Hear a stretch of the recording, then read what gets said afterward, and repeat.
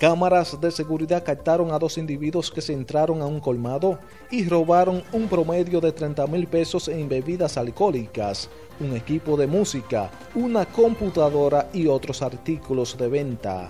Este hecho ocurrió la madrugada del pasado sábado en la comunidad Los Pomos del municipio de Tenares. Sí, aquí yo vine a abrir esta mañana y me tocó con esta sorpresa de que unos malhechores me acabaron el negocio.